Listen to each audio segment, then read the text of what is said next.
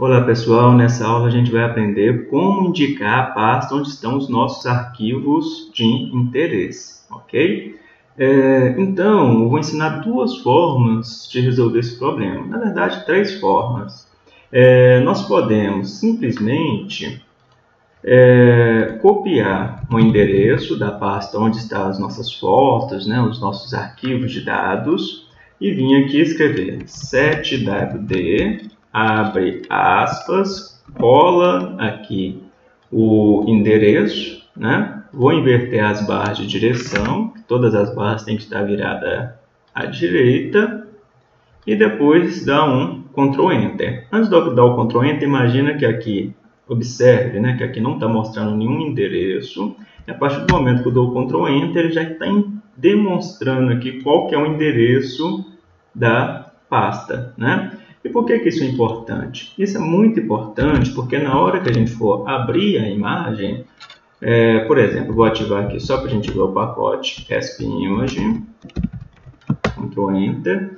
Aí na hora que eu for abrir a imagem, igual read image, abre aspas, eu aperto o Tab, a gente já vai conseguir aqui acessar os dois arquivos que está dentro dessa pasta. Né? Então, o objetivo dessa função é indicar que esta pasta aqui é a pasta dentro da qual nós temos nossos arquivos de dados.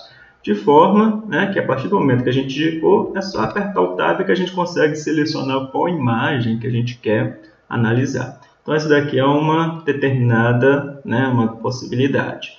É, outra possibilidade para a gente indicar a pasta de trabalho é vendo aqui em, é, em seção, aí tem aqui, ó, setar, indicar o diretório da pasta, escolher diretório.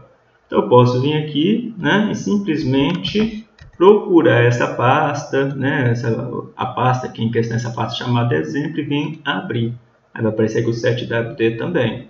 Outra opção é apertar Ctrl Shift H, né? resolve o problema da mesma forma. Vocês procuram na pasta é, dentro do computador de vocês, né?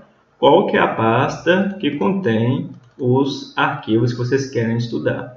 É, observe que quando a gente abre essa pasta, essa pasta chamada exemplo, embora ela tenha imagens, tenha arquivos, é que ela aparece vazia. Né? Então, a única coisa que a gente precisa é só indicar a pasta de trabalho. Então, vou ver aqui em Open, podem ver que apareceu aqui o 7WD.